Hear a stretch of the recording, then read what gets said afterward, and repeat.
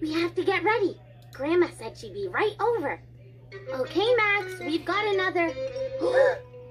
What happened? Oh no! Max ate our beauty line. Hello. I'm here for my appointment. Sorry, Grandma, but we can't give you a treatment. You can't? No. We had all natural avocado scrub and orange coconut splash and strawberry manicure and banana peach conditioner. But now we're all out. Well, you're not quite all out. What about that all natural treatment that you're giving Max in the backyard? What? What all natural treatment, Grandma? Max!